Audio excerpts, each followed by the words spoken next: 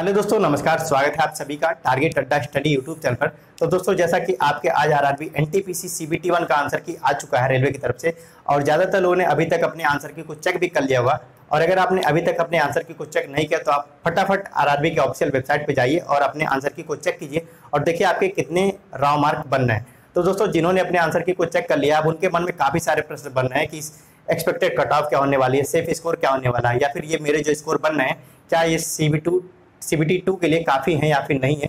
और क्या मैं सी टू के लिए क्वालिफाई कर पाऊँगा या फिर नहीं? तो दोस्तों, आपके इन सारे सवालों के जवाब इस वीडियो में मिलने वाले हैं। तो चलिए, वीडियो को शुरू करते हैं और आप सभी वीडियो को बहुत ही ध्यानपूर्वक देखिएगा, क्योंकि बहुत ही इंपॉर्टेंट वीडियो होने वाली है आप सभी के लिए। तो चलिए, वीडियो को शुरू करते हैं और अगर आप हमारे चैनल पर नए हैं तो चैनल को सब्सक्राइब कर लीजिए बेलाइकन प्रेस कर लीजिए और वीडियो को ज़्यादा से ज़्यादा शेयर कीजिए लाइक कीजिए। तो दोस्तों एक्सपेक्टेड कट ऑफ़ या फिर सेफ़ स्कोर बताने से पहले मैं आप सभी को कुछ पॉइंट बताना चाहूँगा और बहुत ही ध्यानपूर्वक आप समझने की कोशिश कीजिएगा। तो दोस्तों, जो सेफ़ स्कोर होता है या फिर एक्सपेक्टेड कट ऑफ़ या फिर एक कट ऑफ़ जो होती है, वो किस किस चीज़ों पर डिपेंड करती है? ये सारे पॉइंट है। जैसे कि जो कट ऑफ़ होती है, वो डिपेंड करती है। पहला तो होता है आपका नंबर ऑफ़ वैकेंसी ठीक है? वैकेंसी वैकेंसी ठीक है? दूसरा जो होता है आपका अप्लीकेशन टोटल जो होता है एप्लीकेशन मतलब कुल कितने फॉर्म भरे गए। तीसरा जो होता है आपका अटेंडेंस ठीक है अटेंडेंस और चौथा जो आपका जो होता है पेपर का जो लेवल होता है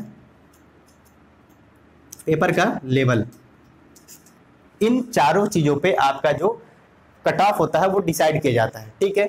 अब देखिए, इसमें जो वैकेंसी आई थी, वो कितनी आई थी?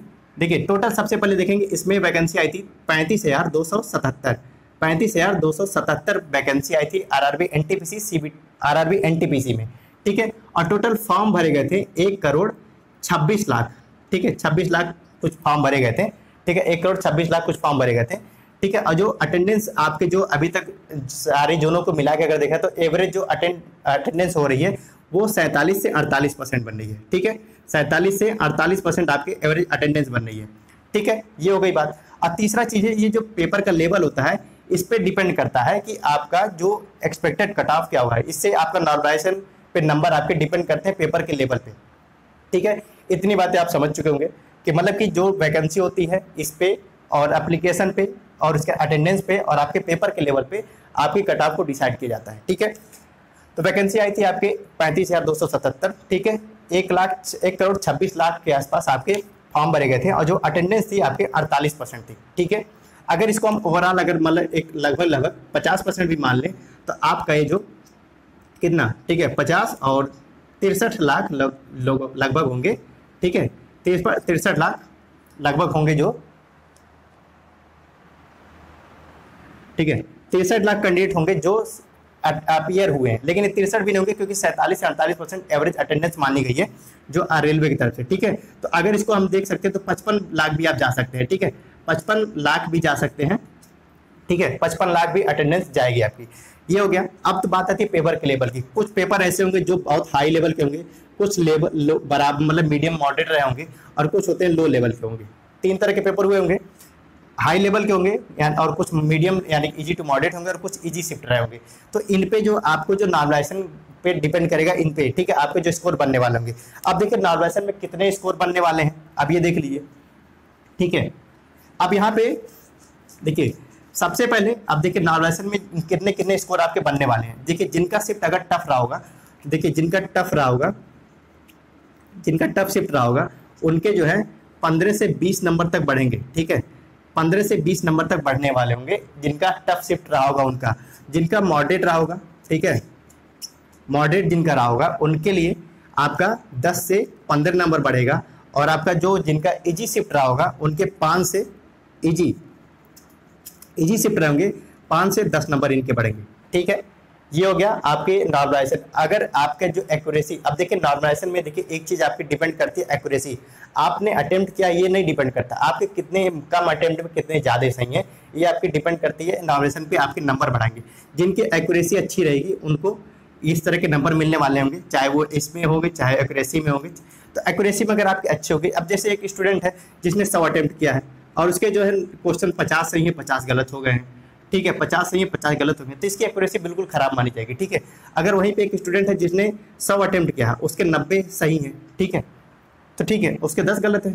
तो इसकी जो जो नब्बे परसेंट इसकी एक्यूरेसी मानी जाएगी और इसकी फिफ्टी परसेंट मानी जाएगी, ठीक है? अगर वहीं पे कोई स्टूडेंट है जो आपका सत्तर क्वेश्चन अटेम्प्ट किया और उसके सत्तर के सत्तर सही हैं तो इसके हंड्रेड परसेंट एक्यूरेसी मान जाएगी इसको अच्छा इसको बेनिफिट मिलने वाला होगा नॉबलाइजेशन में, ठीक है? भले इसका शिफ्ट जो है टफ रहा हो या फिर इजी रहा हो, ये आपके डिपेंड करेगा कि आपने एक्यूरेसी किसके साथ अच्छा किया है। तो एक्यूरेसी आपके नाविगेशन में बहुत बड़ा रोल प्ले करने वाली है। ये चीज़ आपको जाननी होगी। ठीक है? अब बात करते हैं सीबीटी टू के लिए कितने सेफ़ स्कोर की होगी। ठीक है?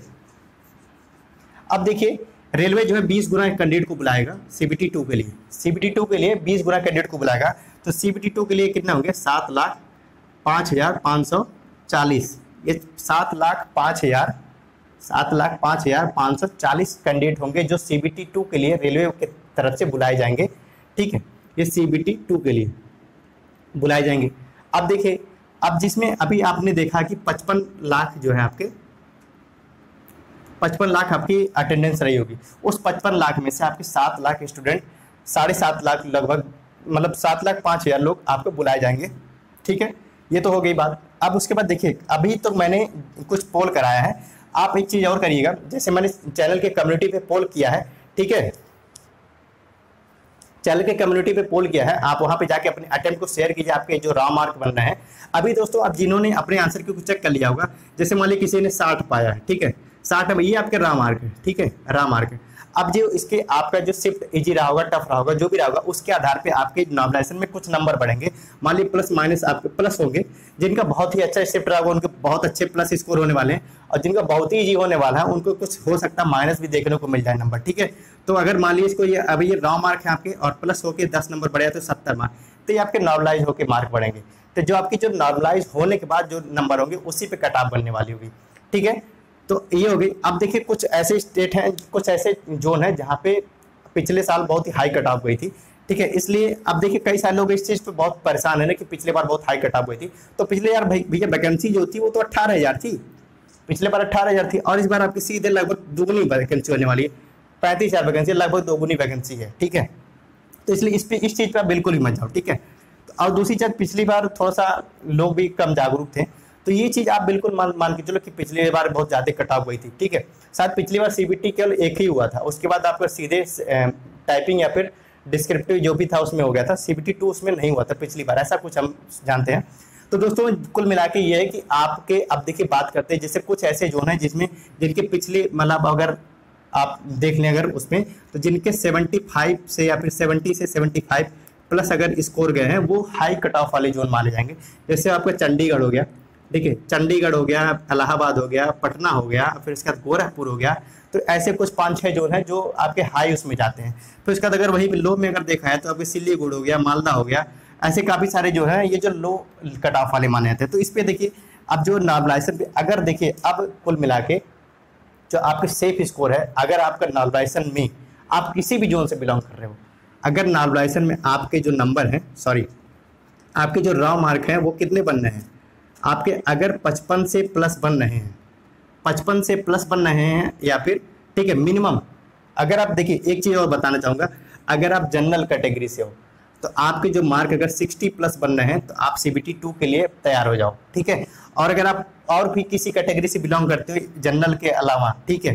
तो आपके अगर 50 प्लस अगर स्कोर बन रहे हैं तो आप जाके सीधे सी बी की तैयारी करो, बिना हिचकिचाहट के, ठीक है? तो मैंने क्या कहा, अगर आपके रॉ मार्क जो है general category U R category के अगर 60 प्लस स्कोर बन रहे हैं तो आप जाके सी बी टू की तैयारी करो, क्योंकि बहुत ज़्यादा स्टूडेंट को लिया जाने वाला सी बी टू में। और अगर आप जन यू आर के अलावा किसी और कैटेगरी से बिलोंग करते हो तो आप सीधे जाके पचास अगर हो रहे हैं तो पचास प्लस अगर आप जा रहे हो तो आप अपने सी बी टू की तैयारी शुरू कर दो। ठीक है दोस्तों? और दोस्तों, ये अभी तो मैंने कुछ कम डाटा पे ये कट ऑफ़ बताने की कोशिश की है। आप सीधे सीधे अपने, हमारे चैनल के कम्युनिटी चले जाना।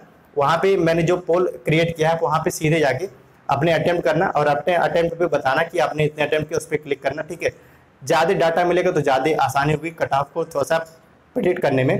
तो दोस्तों, इस वीडियो में इतना ही रहेगा और उम्मीद करता हूँ आप सभी इस चीज़ को समझे होंगे कि कट ऑफ़ किन किन चीज़ों पर डिसाइड की जाती है और किन कौन कौन से ऐसे जोन होंगे जो जहाँ पे हाई कट ऑफ़ जाने की कुछ चांसेज हैं, कहाँ पे कम जाने के चांसेज हैं। और कितने गुना बच्चों को बुलाया जाएगा, कितनी वैकेंसी थी, सारा प्रोसीजर मैंने आप सभी को बता दिया है। और दोस्तों, अभी ये तो मैंने एक नॉर्मल वीडियो बनाया था, जिसमें आपको हल्का फुल्का एक ओवरव्यू दिया है। काफ़ी सारे स्टूडेंट परेशान थे, ठीक है? और इसलिए अगर आप आपने अभी तक आंसर की नहीं चेक किया तो आप चेक करिए और चैनल के कम्युनिटी पे जानिए और वहाँ पे जो पोल मैंने क्रिएट किया, उस पर अपने अटेम्प्ट को शेयर कीजिए, ठीक है? ताकि मैं कल जो वीडियो बनाने वाला हूँ, उसमें अच्छे डाटा के साथ आप सभी को एक बेहतर वीडियो दे सकूँ, बेहतर कट ऑफ़ प्रिडिक्ट करके ताकि आप सभी अपने मेंस के, यानी कि सी वी टू के लिए अच्छे तरीके से लग पाओ और इंश्योर हो पाओ कि मैं अब सी वी टू के लिए लगूँ या फिर ना लगूँ। ठीक है दोस्तों? तो इस वीडियो में इतना ही। थैंक यू और वीडियो अच्छी लगे तो वीडियो को ज़्यादा से ज़्यादा शेयर कीजिएगा लाइक कीजिएगा और चैनल को सब्सक्राइब कीजिएगा। थैंक यू धन्यवाद।